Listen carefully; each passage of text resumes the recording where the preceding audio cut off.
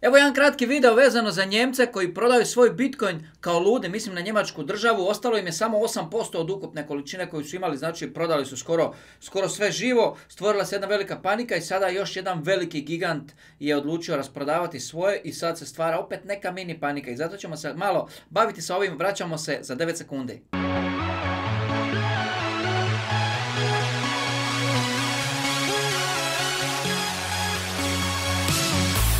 Veliki pozdrav svima ljudi, dobrodošli na kanal Kripto Teme, drago mi da ste ovdje, ali isto tako drago mi da znate da se ništa ovdje ne smije shvatiti kao savjet ili preporuka, financijski savjet, kripto savjet, bilo što jer ja nisam financijski niti kripto savjetnik, tako da molim vas od srca sami morate uvijek donositi odluke. Svaka vaša odluka mora biti isključivo rezultat vašeg vlastitog istraživanja i promišljanja. Jedino što vam ja mogu savjetovati je, ako još niste, postanite subscriber ovog kanala, dobro nam došli na ovom putovanju i pogledajte novi shorts, jučer ih je bilo pet, danas smo isto krenuli s objavljivanjem shortseva, obavijesti vam ne izlaze, ali pronaćete ih ovdje na kanalu, a ako ste Jumbo član kanala, večeras u 9 sati vidimo se u našem live streamu, u našem druženju samo za Jumbo članove. Dobrodošli svi, a Njemci prodaju sve ove dane. Dogodila se situacija koju smo prokomentirali sto puta. Točno to se dogodilo jedna izmjena vlasničke strukture Bitcoina. Ja se volim tako izraziti dok su mnogi paničarili da Njemci prodaju. Netko drugi je bio sretan što je kupio sav taj Bitcoin na tržištu. Cijena je tu gdje je, izgleda onako, možemo reći slobodno, stabilno, nema neke velike drame, osim drame u glavama ljudi koji su se prepali pa su oni prodavali svoje.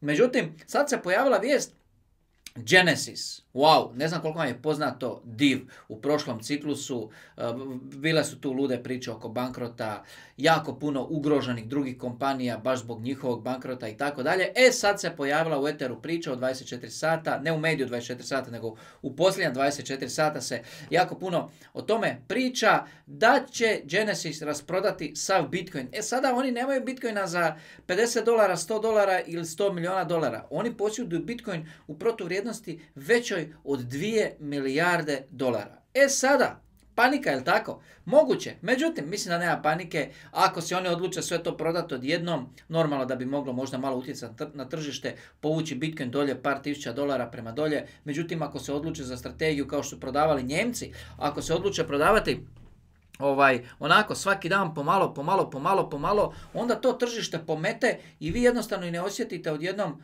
Zamislite da vam je neko rekao prije 10-15 dana Njemačka će sve prodati. Panika. A onda vam neko danas kaže, pogledajte gdje je cijena Bitcoina 58 tisuća, ej, znaš li da su Njemci prodali već 92% svega što su imali? Ti bi rekao, Ko bi rekao, vidi, wow, došlo u druge ruke, jel tako? Mislim da će se ista situacija dogoditi i sa Genesisom. Mislim da će tu doslovno biti situacija promjena vlasničke strukture Bitcoina. Genesis će prodati, međutim, neko drugi će kupiti. Neko drugi će to sve pokupovati. Koji ćete short sada pogledati? Odaberite, pogledajte, ostanite na kanalu, a u 9 večeras ako ste Jumbo član vidimo se u našem redovnom live streamu. Veliki pozdrav!